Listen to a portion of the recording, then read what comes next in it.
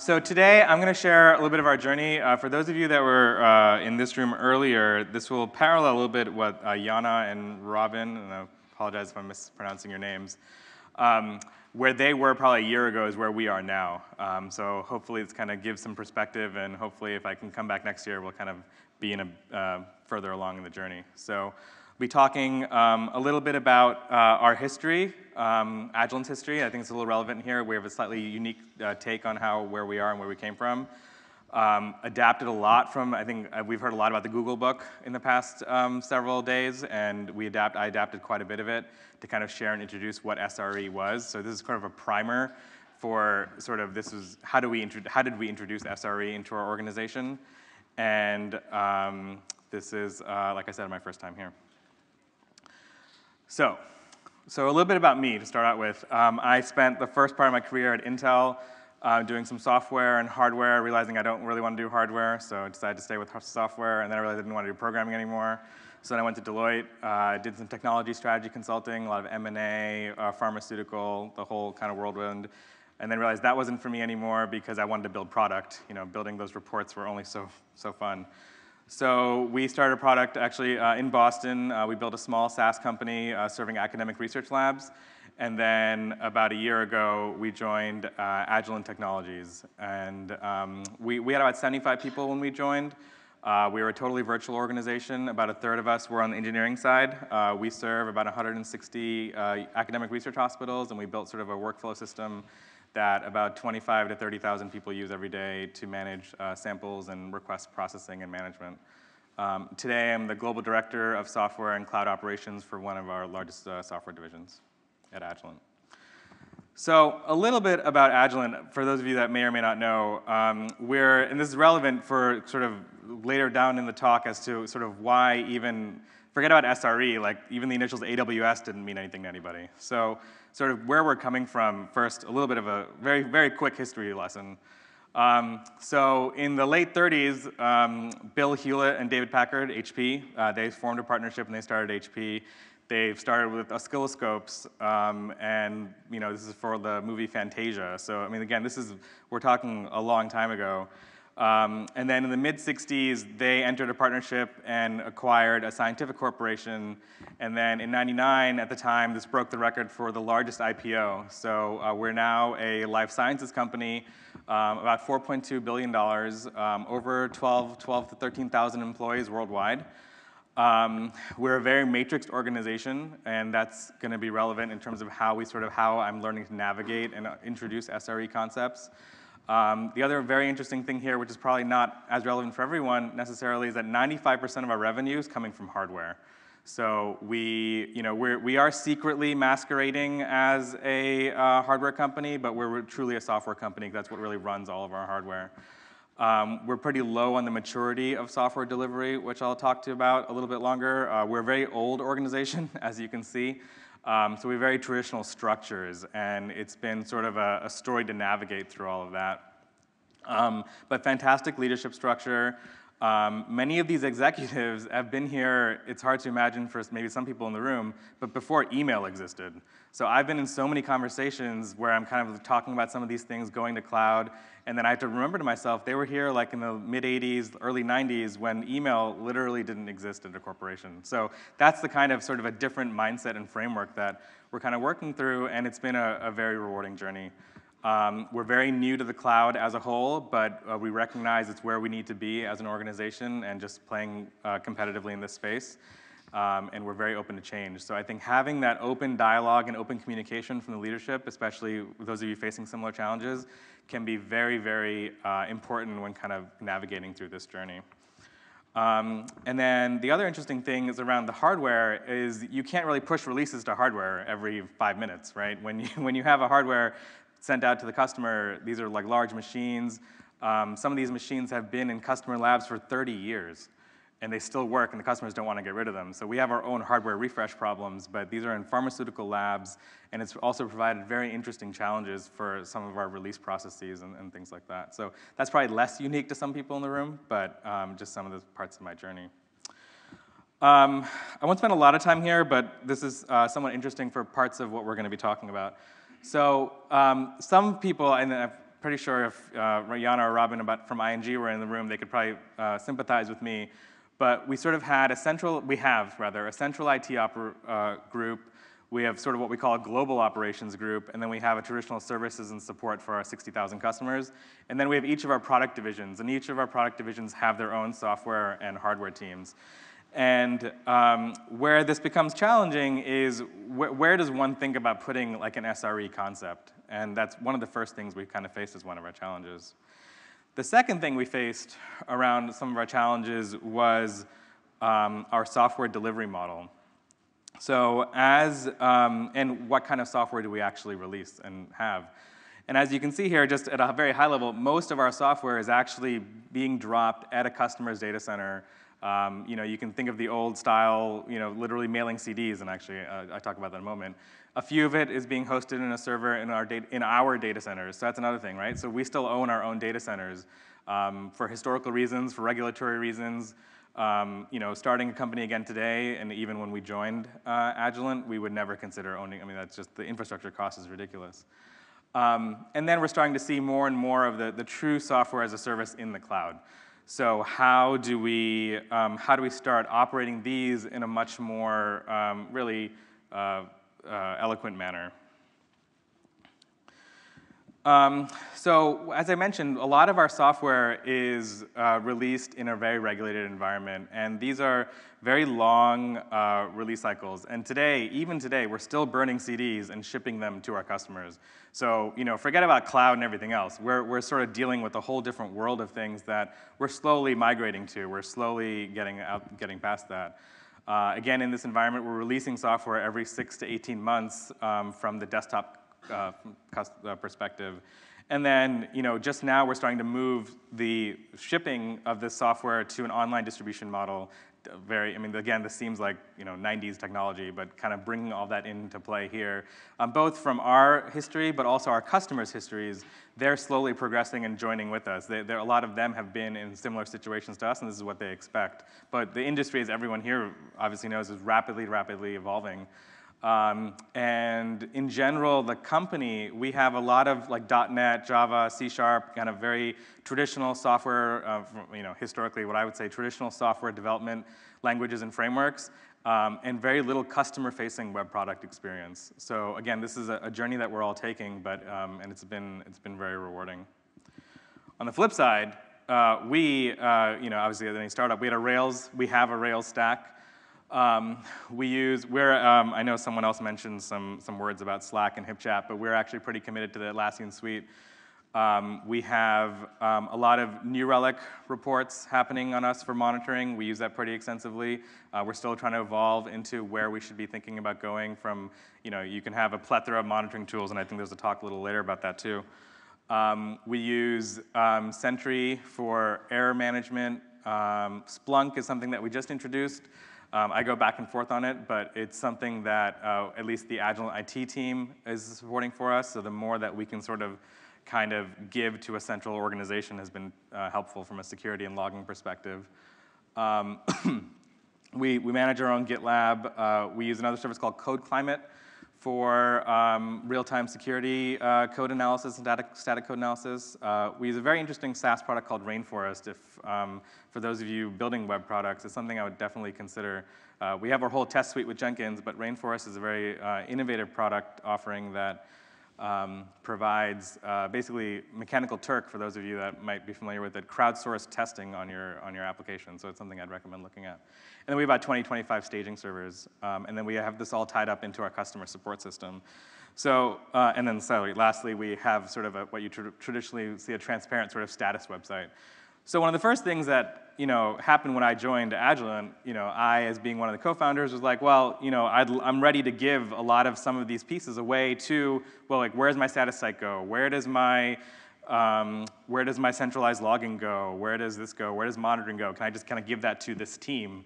and lo and behold, there's no team, right? So I'm still doing all this, and it's an opportunity to figure out where do we go from here, and how do we start structuring an organization to be built around that. Um, and then actually, and we are releasing to production twice a week. um, to our customers, and even I, I mean, I think that's slow. I mean, you've, we've heard some talks earlier where they're talking about hundreds or thousands of times a day, and when I say within Agilent we're doing it twice a week, you know, you saw me earlier say six to 18 months, so twice a week is a totally different, uh, a different place, but. Um,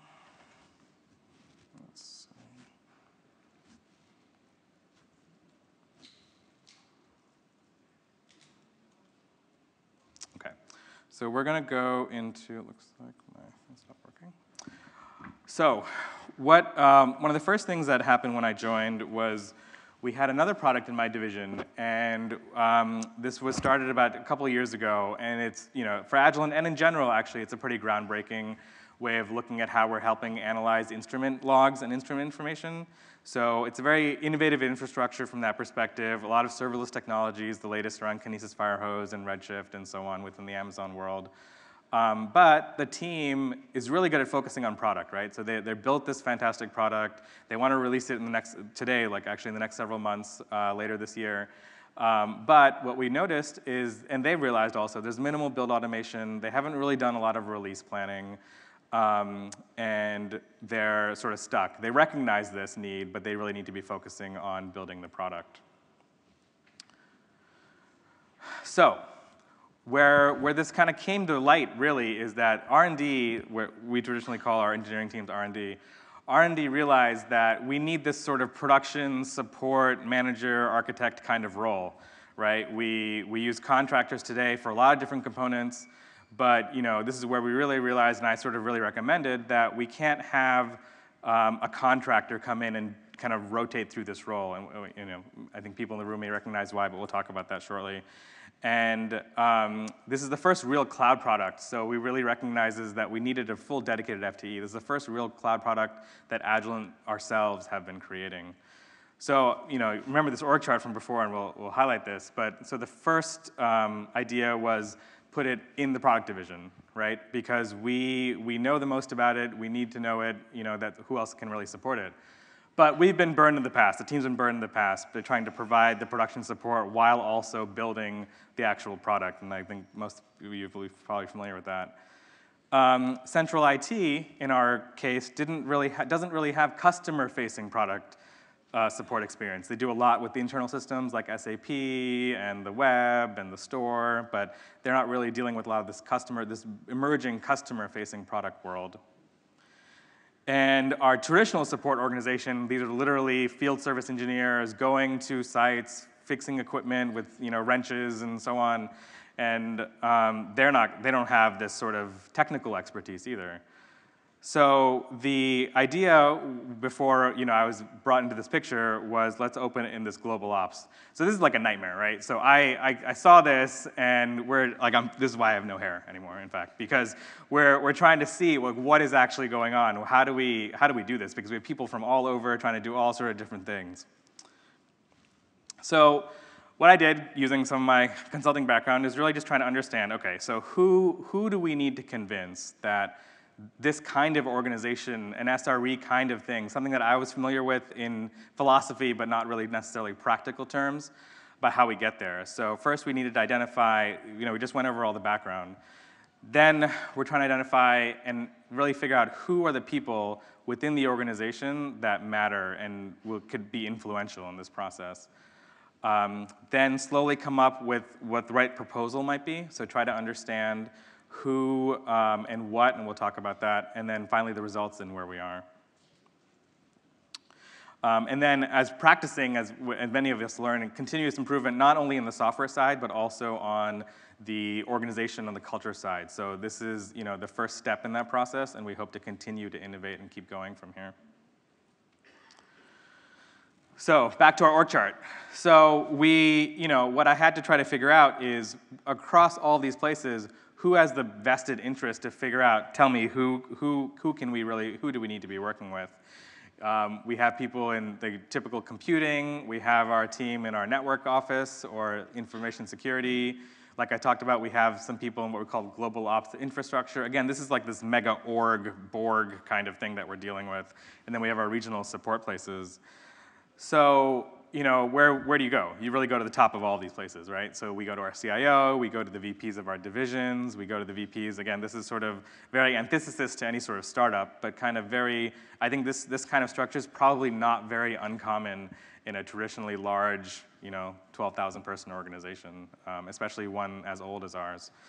Um, and one thing I'll say is anytime sort of you're going through some sort of like culture shift or introducing something new like this, um, this executive buy-in, no surprise, is key. So I, I, think we heard that earlier also. I don't recall which one, but there was, um, yeah, actually she mentioned again in, in Intercom to some degree, but we, you just need to keep pushing the agenda and realizing, you know, who the right influential people are.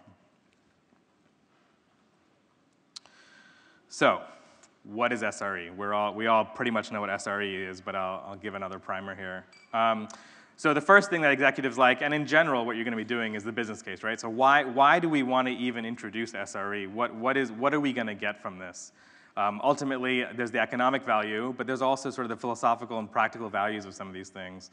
Um, so like we said, just to recap, some of the problems we were having is that you know, R&D is forced to build product, but at the same time, you're forced to sort of organize and manage the product that you just delivered. And there are different schools of thought on that. You know, I think you know, as we're evolving as an organization, we'll be introducing things like error budgets and trying to understand like where do you start and stop and fall. But I think everyone here can agree on the fact that you know, if you're building your product, you can't, generally speaking, although I've heard some different uh, views this morning, around monitoring the same thing you're building. I think that works probably in, in different kinds of organizations. In this case, we're, we're kind of at least divorcing that aspect uh, temporarily in the short term. Um, what I also learned as I'm navigating through this is that disparate resources across the organization could be doing similar things. Like not everyone should be creating their own monitoring tool for their own web service or web product, or not everyone should be kind of creating their own logging server to kind of figure this out for themselves. So what we learned is there's actually efficiency, unsurprisingly, to kind of work across and learn and try to figure it out. Um, especially with such a matrixed and diverse organization as ours, 12,000 people across, I think, 40 countries, um, customers in over 100 countries. It's, it's not like the easiest, like everyone raise your hand if you're an SRE person. It's hard to kind of identify all these people, but slowly but surely you'll kind of meet these. Um, in, in our case also, I think this is probably a legacy thing, especially through some of the early 2000s and the late 2000s um, in terms of some of the financial difficulties um, contractor hiring was very, very prevalent.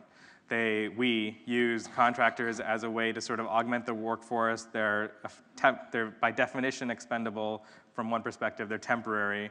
So using them as sort of a means to augment some of this stuff. But what happened was, and we've, and unsurprisingly again, is that they, the turnover, when the turnover is high, you lose institutional knowledge and you start coming, starting all over again. So having that can be very challenging, especially in this kind of org. And then, um, but having said all of that, the actual system needs engineering resources. You can't just kind of send this to some non-engineering or non-technical resource. So how do you kind of balance all of those things? So my idea and our concept here was let's introduce SRE, of course. So with, with that in mind, what we can say is that R&D can now focus on priorities um, we can try to start introducing knowledge sharing across the organization. Um, we, we definitely recommend full-time employees because of all the reasons we just talked about. The more full-time employees you have, you know, you start introducing the follow the sun and things like that, so how do we get there? And then one of the things I read actually from a, uh, I think it was a talk uh, Atlassian gave a few years ago, is rotating R&D resources into the SRE organization. Uh, because again, that innate product knowledge is so important when you're building out some, any sort of production monitoring or things like that. So what follows is a few slides, and actually I should have mentioned this um, for those taking some notes, even in here. Uh, I have this small um, tag in the bottom right, which might be hard to see, but these are the, it, it says used in selling SRE internally. Um, these are literally examples, and I think relevant here also, these are the kinds of diagrams and discussions and presentations that I gave, and these, the ones with the gray um, notes are the slides that I pretty much gave verbatim when we were kind of doing, going through this journey inside um, the, inside the, uh, inside our organization. So um, today, as we all know, because we're all here, we're, SRE is effectively now an industry accepted practice. Like I said, these initials, these acronyms were all brand new. Um, AWS, like I said, was just a brand new thing. Um, we, as an Agilent, we just had three SaaS acquisitions. We're entering the space more aggressively. Um, several divisions, not unsurprisingly, want to be introducing several uh, cloud-based products, hiring for similar, similar roles themselves. So let's start incubating, incubating some sort of centralized approach. And what I also tried, to, without going into a lot of detail, we kind of talked about, well, we're sort of this whole spectrum of operating a, a, product or a software, right? So you have your traditional system administrators. They're usually within IT traditionally, right? You're kind of doing your OS patching, doing your network monitoring, those kinds of stuff. Um, you have, sometimes you have your dedicated admins where they, um, you have, you know, your one IT guy for your product because you just rolled it out and it needs to, so on and so forth. And then, um, again, with smaller companies, I'd say due to product complexity, you're going to have your R&D teams dedicate people, which is where my team was, where two of our other acquisitions recently were, and to some degree, we're going to be introducing new products.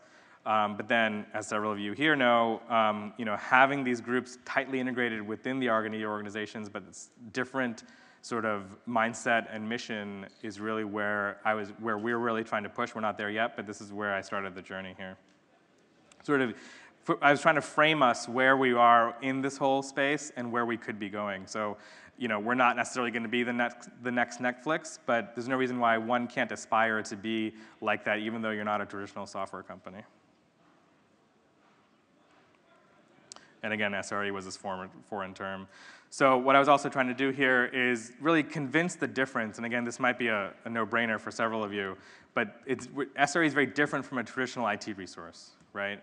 And really building consensus, show what other industries are doing, really helps to make that case out.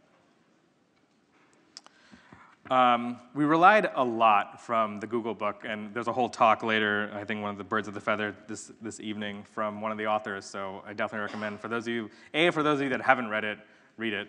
Um, and for those of you that, uh, and I'll go through parts of it, but I'm not gonna, I'm not gonna go into a lot of detail. Um, one of the key things here, though, is that what we were trying to really out, outlay to, the, to our team is that the SRE team runs production services, right? And specifically, we run them for our customers. And that, that's the one distinction I really tried to make over and over again because you have an IT org, they're doing a lot of things like I talked about, but it's just a different mindset when you come and you're running systems for customers. Um, the other piece is around just continuing continuous improvement of health. Um, I started to introduce this concepts of R&D toil. Again, that was a little bit foreign um, to help increase uh, R&D velocity, um, which again, people like to hear that, right? If you're gonna get more product out because you're reducing their distractions, that's always gonna be something that goes over well. And then when SREs engage, we're really, the idea is to improve across all of these services, uh, across all of these elements, um, and try to figure out the right way to kind of do each of these things.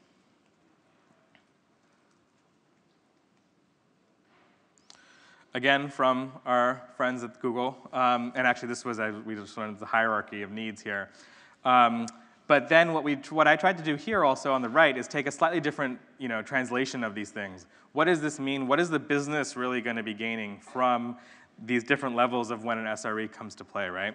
So, you know, we're always monitoring. We're starting to go across different dimensions, different service level, service level objectives.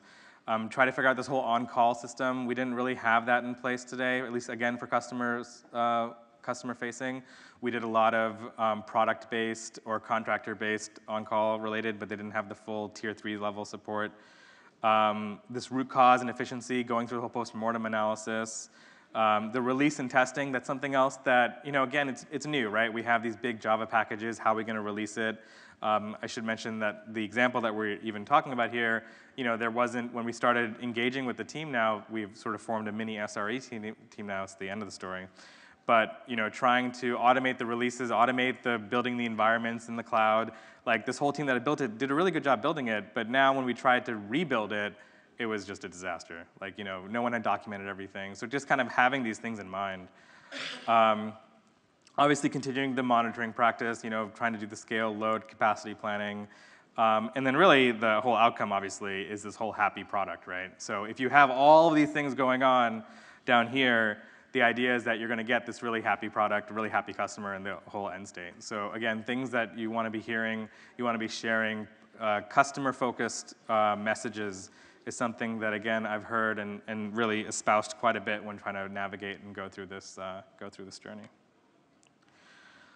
Um, the other part is really stressing the importance, not only is SRE really, and again, as we all know, not only is SRE doing at the end, but we also are doing things throughout the life cycle, right? So we need to be collaborating not only with the R&D and engineering teams, but as we grow, and this is where I'd like to be, I'm not, I, I can honestly say we're not here yet, is really appreciating and understanding and going through the journey of the product release through every step. I think I've heard a lot of good talks today and yesterday about sort of this active part at the end, but I can't stress enough, and again, I, I share this uh, within the broader uh, Agilent community, that we as SREs really need to be involved from the beginning. If, if we get engaged at the end on a product, you're, you're left generally, and I've seen this from experience, you're left with a, a mini disaster that you're trying to, you, you want to get out the door, but then you're also really trying to figure it out. So I'm going to spend a couple minutes here just because um, I thought this was, excuse me, useful.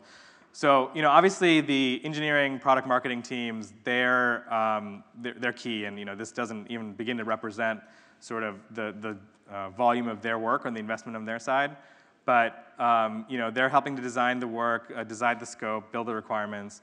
But at the same time, this is when you really need to start the SRE engagement, right? So you need to be there right when they're doing this summer stuff. If someone says, okay, we're going to be, uh, we're going to write an, uh, a welcome email uh, action. You know, when a person logs in first time, they're going to get a welcome email, or when they register. So then, first question you should ask is, well, are you going to send 10,000, 100,000? What's your forecast? What, what you, are you even ready for this? You know, we had this problem where we were sending thousands of emails, and suddenly our mail server died because we, you know, we just evolved over time, and suddenly we are sending 100,000. We didn't even know it. Now we're sending half a million per month, and we just had we weren't even monitoring it. So start defining and providing this input early on in this uh, early on here. Um, and then the key, again, in this, in this design phase is to minimize these future, uh, future disputes, right? Every choice you have in the beginning, every design choice will have reciprocal effects towards the end.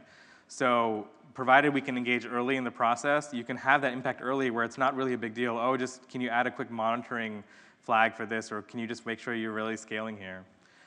Um, as you're building, be right there, be involved. Uh, you know, they're building the product, but you should also be there in these scrums, right? You should be there checking, well, wait, we had these things, let's, let's kind of think about it. Did these SLOs, SLAs, did they, did they make sense? Did the metrics that we wanted to measure, did they make sense? Um, but just confirm, be, be as part of that process, right? You know, we're, we're building alongside the R&D team, and it's so important to be going throughout the journey and the process with them. And the key here, again, is as SREs, we're going to gain operational knowledge of this product. We can start be thinking ahead and say, oh, wow, they're using like 15 different microservices. Let's make sure we have either resources on the team. Let's start learning along while they're learning. You know, again, just kind of without getting this thing dumped to you, dumped at the end. And then the real key is where we start ramping up a little bit more is around the release cycle, right? So, you know, they're the, the R&D product team, they're working on it, validating it, QA, their go-to-market strategy, you know, the product support, all that sort of stuff. Um, but then, you know, we're here. We want to be releasing, you know, how do we want to be releasing? Do you want to release just a, you know, feature A? You want to do some A-B testing? Do you want to automate the whole thing? You were releasing 10 times a day, once a month, twice a year. Um, and that way, if we're here right alongside this process, when, you, when we jump in as SREs, we can keep this R&D momentum. They can keep focusing on new enhancements, new features, new bugs when they come in, but we're there kind of right alongside, and that, that journey gliding right through, I think can have a really positive impact when, when going through this process. Um, and then obviously where we really step in now is this post-release, right? So, you know, we're gonna send them, we're gonna be monitoring the error budgets, um, monitoring pretty much everything we possibly can, hopefully within reason. I think there was a good talk yesterday morning around over-monitoring, and that's obviously a problem. I think I can, I can relate to that. But, um, you know, providing all that feedback up and prioritizing, excuse me, prioritizing and giving that feedback in so that, again, we're iterating and going through this cycle. So um, again, in the book, uh, in, the, in the book, the Google book, there's um, the other thing that's really important here is that um, this SRE engagement, especially as you get to scale, we're, we're nowhere near that. But in, a, in, an organization that's fortunate enough to have you know, hundreds or ten, tens or hundreds of products, SRE can't be there for everybody. So um, there's a philosophy within in the Google book described as the production readiness review, um, where they really understand the reliability needs, the SLAs, the SLOs, and then they'll decide, well, your, your product's great, but you don't need SRE, or it's too expensive to engage SRE, let's kind of figure out the right model there. So that way you, you kind of think about, you have a process in place to um, consider when, or, when you want to engage as a team, as an SRE team. Um, we're trying to basically say around scale, complexity, and business value are sort of the metrics that I'm starting to introduce. If you kind of meet all those three criteria, then yeah, let's do all these things. You know, you're going to get the full bang of everything. So back to our fun org chart. Um, so you know, we heard about all of these things, and we were like, well, now what do we do? So I said, well, it doesn't actually make sense to kind of put them in any of the things that you described. So we're going to incubate our own. We're going to create another organization. Well, so we, so for now, in fact, what we decided to do is let's let's build out this SRE resource. Let's consolidate the people that we can, um, and bring other like-minded people. And let's focus on our division, the division that we're introducing that case study in first service on our own, and slowly bring in other product divisions. Then eventually, and we're still on this journey, figure out where can we go or where should we go, um, and focusing on our division first. Um, in terms of staffing it, we want to really bring in, like I said, we have today we have about four permanent team members, uh, three of which actually I was fortunate enough to bring here, so they're spread out. Luckily, they're not watching this talk. Um, and and also the other thing I'm really trying to do is actually rotate and uh, bring uh, just bring one team member within the software organization into the SRE team. So call it a three-month rotation, call it a six-month rotation. Um, the key here is that, you know, as we know, SRE is not just this NOC center, right? SOC, NOC, it's not that. We're truly automating, we're building, you know, I think someone also said if you've automated everything, you have no job, you know, come talk to me kind of thing. That, that's half true you want to be continuing to improve, continue to build. Everything you see, you look at as opportunity. You're not just sort of, you know, whack-a-moling everything. So, the good, the, the success story here um, is that we, uh, we, we got approval to go through that process. And again, going through this step, you know, that whole journey, and you know, back when I was a startup and I sort of did everything, I could have said, well, yes, this is what we're doing. But now that you're in a larger, or that I was in a large, I am in a large organization, you kind of have to go through a little bit of that process. And some of the thinking, you know, can be time consuming, but some of it, you know, that planning process becomes uh, extremely important.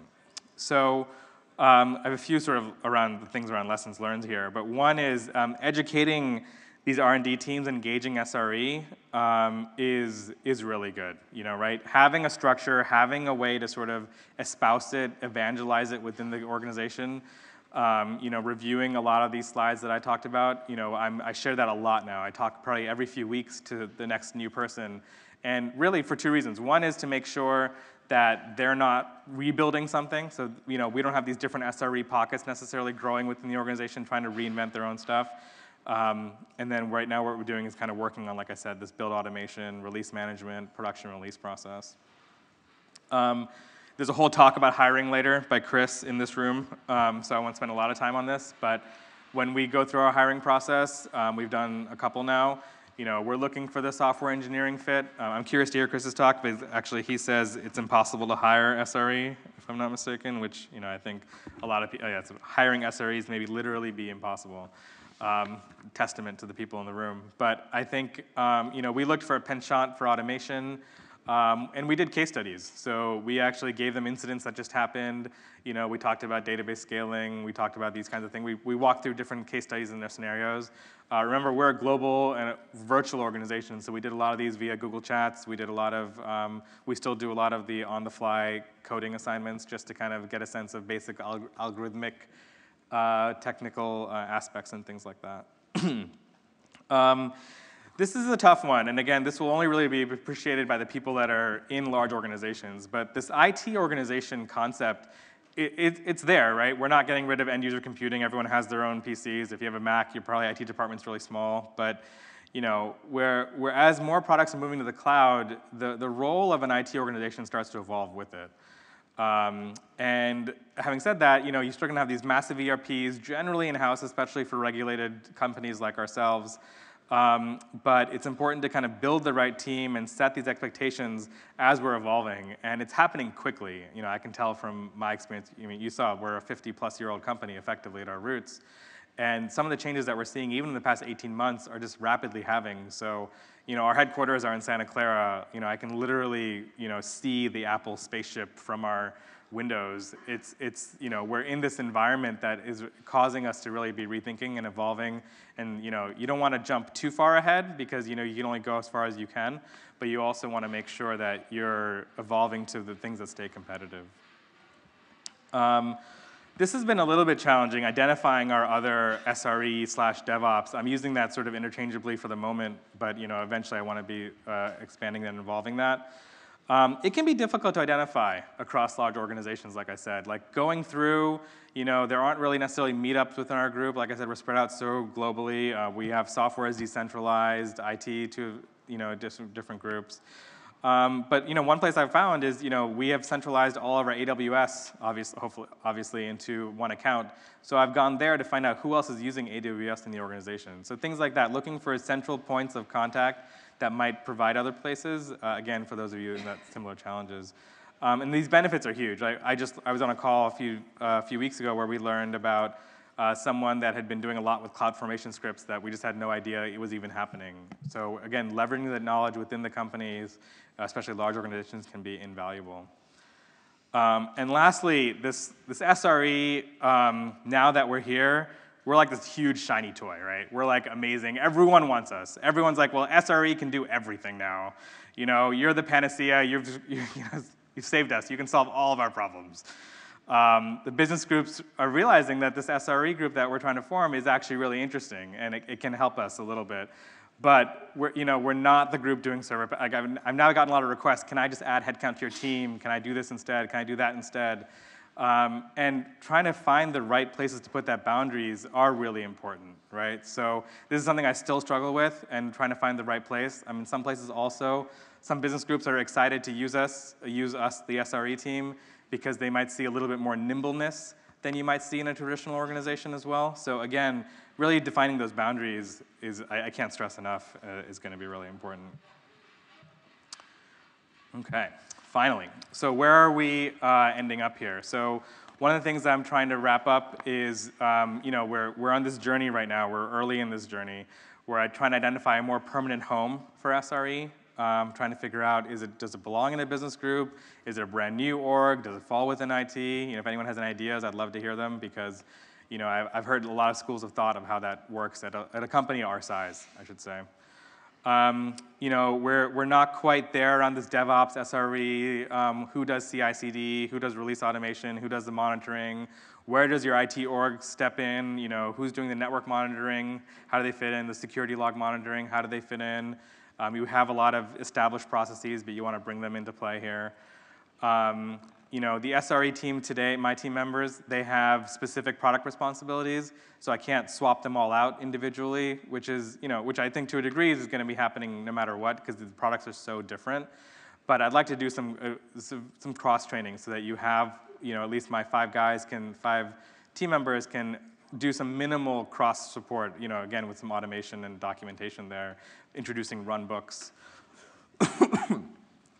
Um, we're working on setting up 24-7 incident management, um, follow the sun, hopefully, model. Um, and then as we mature, hopefully moving some of these, I, I, one of the talks earlier today had some good advice on, you know, moving some of this back into the business. Uh, we're definitely not there yet because we're just trying to sort of establish some practices here, but kind of do that. Um, we have a lot of dashboards. We use New Relic a lot, as you saw, but I'm getting sort of stats from all over the place. So how do we build something that has the right level of information that we can sort of jump on at the right time.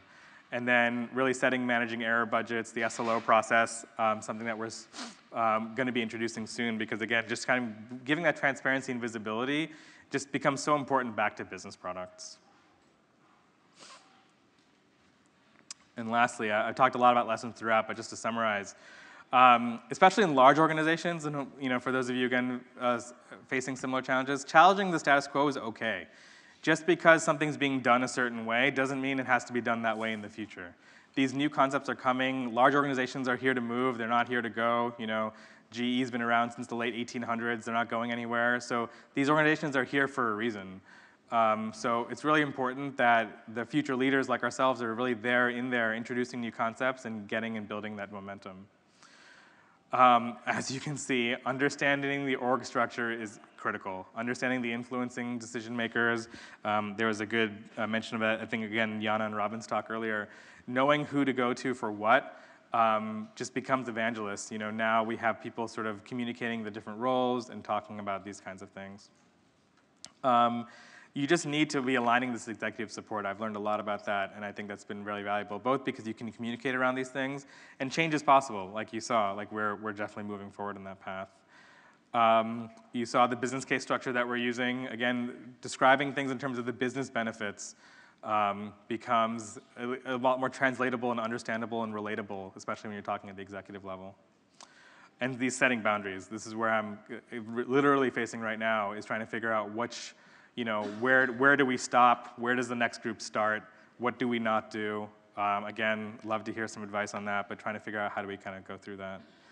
And just communication's key. You know, I think the more people know what you're doing within the organization, the more people can help you, and the more people that I'm learning now can help you make sure they're not doing the same thing, so we're not replicating things like that.